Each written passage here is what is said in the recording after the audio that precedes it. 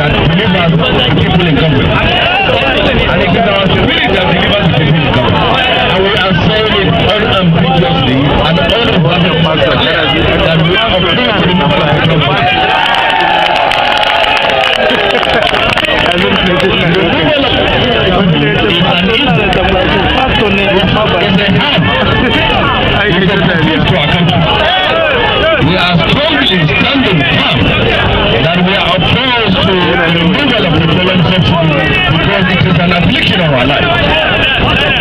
Today, Nigerians from all walks of life, mainly Christians, Hausa, Igbo, Yoruba, Fulani,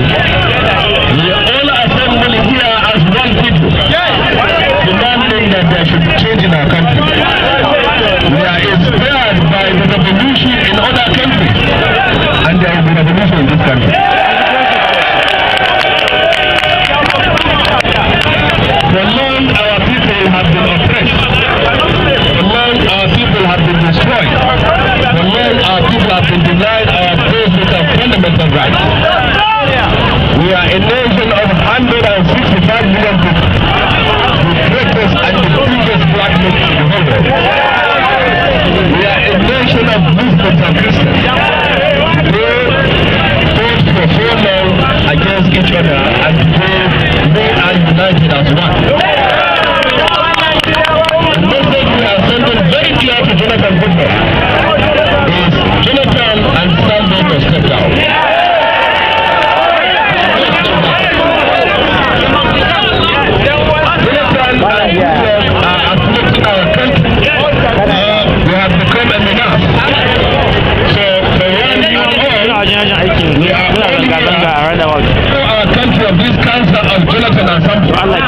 We have to let everyone here know that the power and our freedom is dependent on our ability to be on the street.